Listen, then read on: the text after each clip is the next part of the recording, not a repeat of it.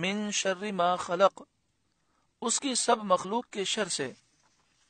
چاہے وہ مخلوق جاندار ہو، جانور ہو، انسان ہو، جنات ہوں یا بے جان چیزیں ہوں، وہ مخلوق مکلف ہو یا غیر مکلف، تمام مخلوق کے ہر شر سے میں اللہ کی پناہ مانگتا ہوں۔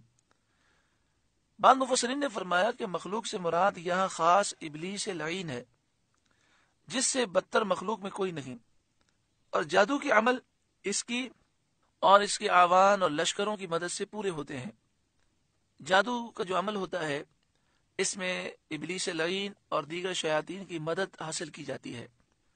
بعض مفسرین نے فرمایا کہ یہاں مراد ہے کہ میں ابلیس کے شر سے اللہ کی پناہ مانگتا ہوں۔ پناہ کو اس طرح سمجھیں کہ جیسے فائر ہو رہے ہوں، تو بچنے کے لیے کوئی کسی آڑ کو اختیار کر لیتا ہے۔